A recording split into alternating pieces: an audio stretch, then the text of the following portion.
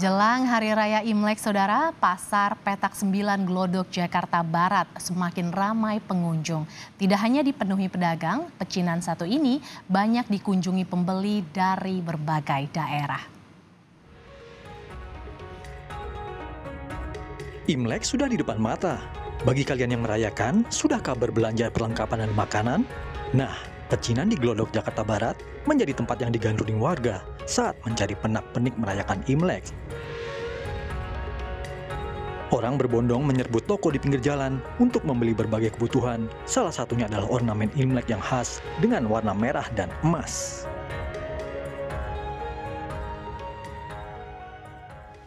Imlek tidak akan lengkap tanpa adanya ornamen berwarna merah dan juga emas yang melambangkan keberuntungan.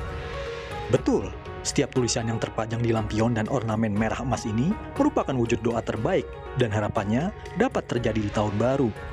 Seperti yang satu ini. Dalam bahasa Mandarin, tulisan ini dibaca Fu, yang berarti rezeki dan keberuntungan. Tak mahal, harga ornamen dan perlengkapan khas Imlek yang dijual di pasar petak 9 ini dapat dibeli dari harga Rp5.000 saja. Hal inilah yang membuat para pembeli berbondong-bondong ke sini untuk melengkapi kebutuhan mereka menyambut tahun baru kelinci air. Oh, kalau dibilang persiapan udah lama, cuman di Bandung udah pada habis, jujur. Terus akhirnya kita sepakat, kita mau berangkat tadi pagi untuk belanjanya di sini. Dan banyak kita belanja, banyak banget. Ya sini kan Chinatown tuh pasti rame banget. Apalagi masa-masa Imlek gini udah penuh banget mau cari apa semua ada di sini. Udah terkenal dari dulu di sini tempatnya. Ya kan kita prepare-prepare apa yang harus dibeli. Nanti kan nggak nggak langsung dicicil-cicil gitu loh. Kita mau beli apa mau beli apa gitu.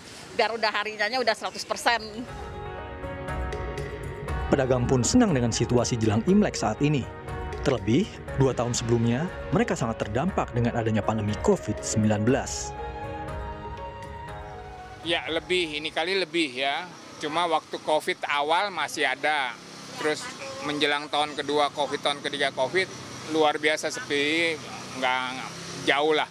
Sekarang mulai lagi bangkit. Sehat, damai, sejahtera untuk Indonesia.